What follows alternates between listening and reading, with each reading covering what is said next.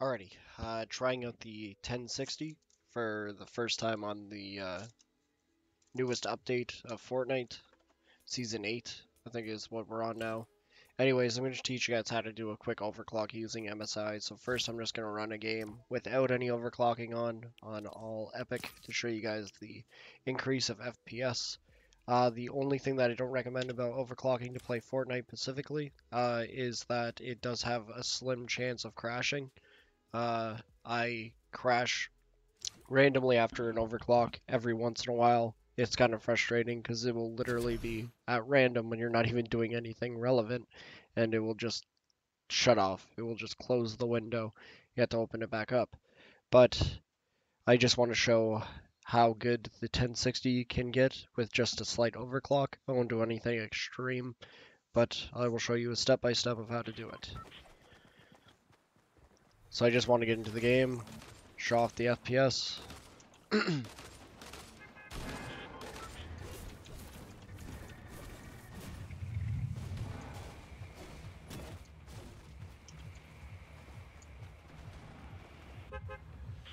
I was gonna say my FPS seems low. Normally it sits at around 80 on all Epic. So let's just do a quick little test. I'll land somewhere random. I've never even been to these new areas yet.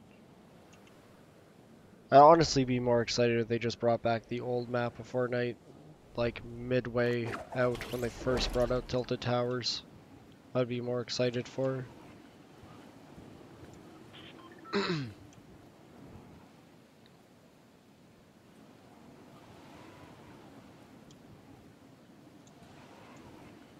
let's just land here.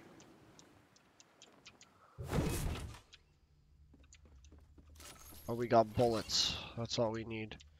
Alright. Standing 83, all epic. Let's switch it all down to low. No. Gotta change that. 240. Okay. Oh, that was a drop. I just gave the game a second to load. So 240 all low, 240, 250, 260 there. So we'll say 240 on average. Alright, so now we're going to close the game because you want to have it completely off. Open up MSI Afterburner. Show you guys that I am using in my 1060. I have both my cards plugged in currently, my RX 580 and the 1060 sitting at 65, totally normal. So what you're going to do is navigate yourself down to uh, core clock, and then this is how much speed you're adding. So I don't want to do anything crazy, so let's just do, let's do 140, 44. That should be fine. So now to accept it, click the check mark. And if your computer doesn't accept it, it will crash at this point. So I'm going to leave that up. Going to reopen up Fortnite. Now let's keep in mind I was setting around mm, 80 frames I think on all epic and then 240 on all low. So let's see if by increasing the core clock of the GPU how much more FPS do we get?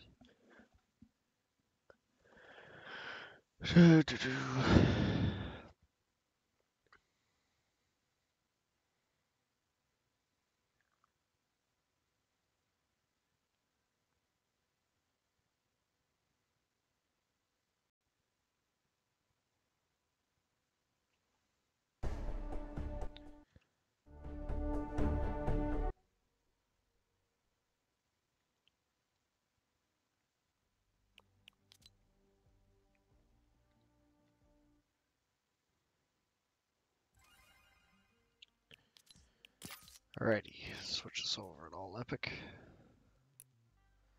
VSync off, motion blur off, show FPS on. So we were getting 80 frames before standing still, 76 I would say. So let's just see what FPS we get now.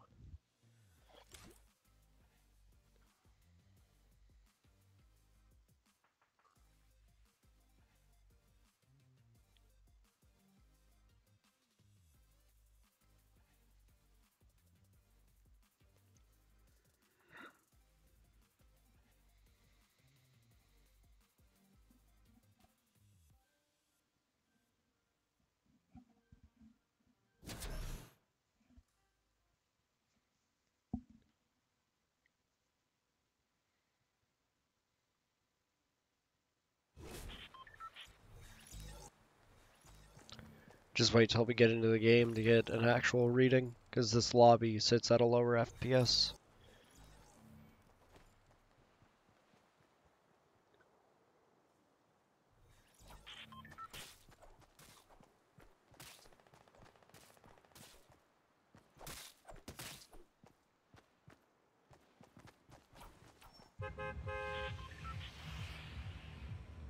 Looks like a 10 FPS increase would be my guess. Uh, see if I can remember where I landed last time. It was by there. There it is. Try to land in the same spot.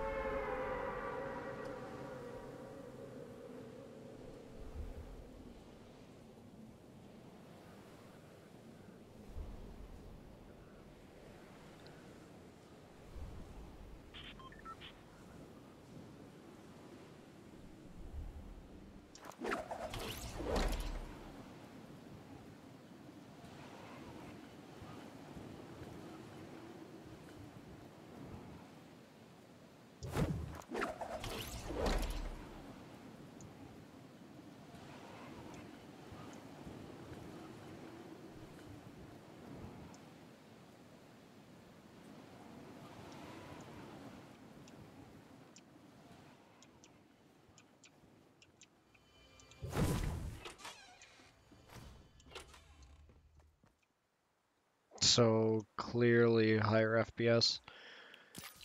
Let's switch it all down to low.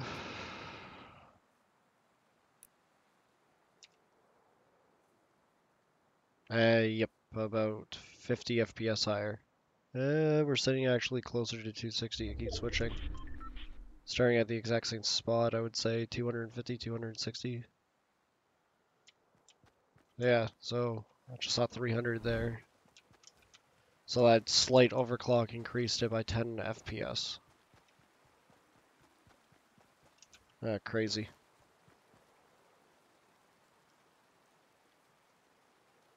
At 280. Yeah, so there you have it. It's just a simple, let's uh, check out the heat before I close off this. 76, so really not too much different. Frame rate, yeah, it's increased quite a lot. Interesting.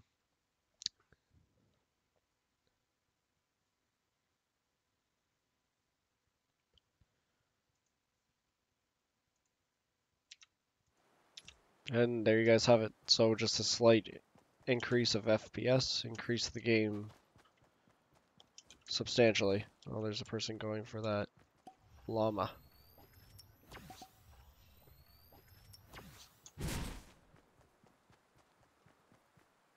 Try to make friends.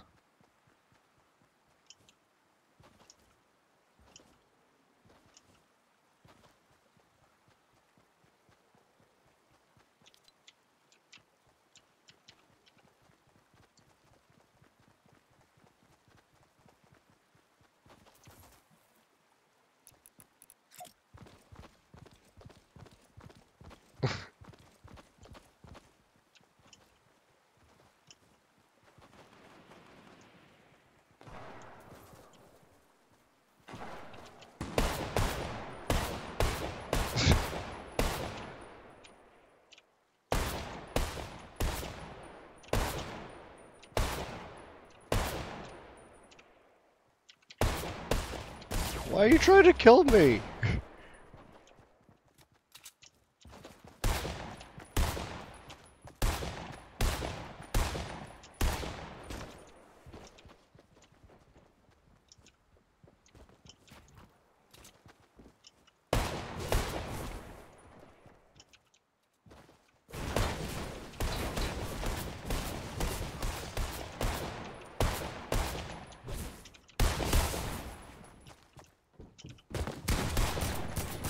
Shoot the other guy! Am